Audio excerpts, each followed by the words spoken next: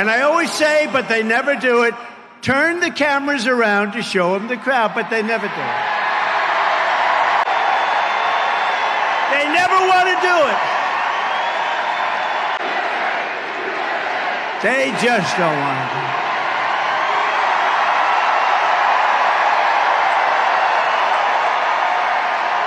As you know, three days ago, we officially defeated the worst president in the history of our country, crooked Joe Biden. He quit because he was losing so badly in the polls. He was down in every single poll and down by a lot, so he quit. But really, what happened was the leaders of the Democrat Party, in a very undemocratic move, the bosses, they said either you get out or we're going to throw you out using the 25th Amendment. That's what happened. You know that. So, well, you know that. That's what happens. That's what happens. These are nasty people, the Democrats. So we better beat them or we're not going to have a country left. You're not going to have a country left. So now we have a new victim to defeat Lyin' Kamala Harris. Lyin', L Y I N apostrophe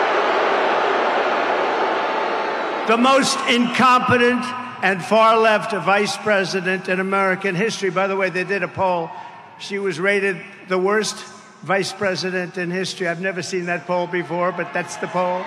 If Kamala Harris gets in, she would be the most radical far left extremist ever to occupy the White House times 10. There's never been a lunatic like this in the White House, and we've had some bad ones. But the worst one is Joe, actually.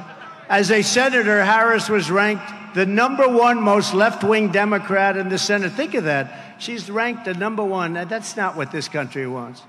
She makes Bernie look like a moderate. You know, he looks like Bernie Sanders. He's actually quite moderate by comparison.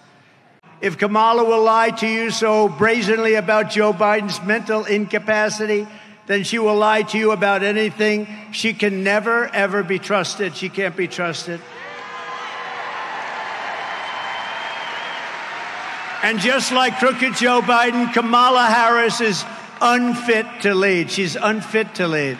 She'll destroy our country in a year.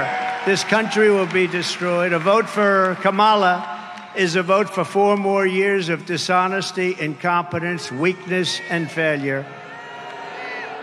Other than that, she's doing an excellent job.